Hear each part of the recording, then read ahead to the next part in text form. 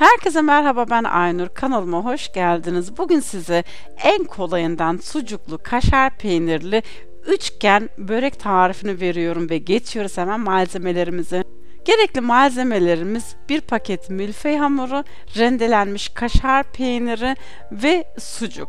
Miktarını ne kadar yapacağınız böreğe göre kendiniz ayarlayabilirsiniz. Sucuğu küçük küçük doğruyorum.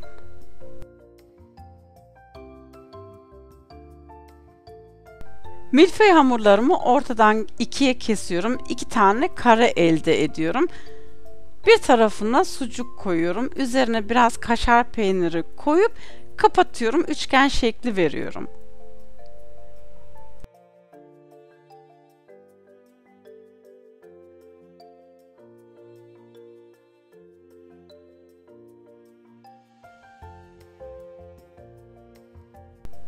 Böreklerimi fırın tepsime aldım. Kenarları güzel görünsün diye çatalla bastırdım ve üzerine yumurta sarısı sürüyorum. Ve ayrıyeten biraz sucuk, biraz da kaşar peyniri koyuyorum.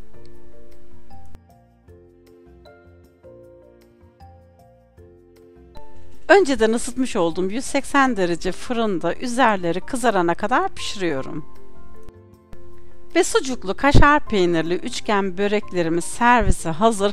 Benden bugünlük bu kadar. Videomu beğendiyseniz beğen tuşuna basmayı ve videomu paylaşmayı unutmayın lütfen. Kanalıma abone değilseniz şimdi buradan olabilirsiniz. Deneyecek olanlara şimdiden afiyet olsun diyorum. Bir dahaki videoda görüşmek üzere. Hoşçakalın diyorum.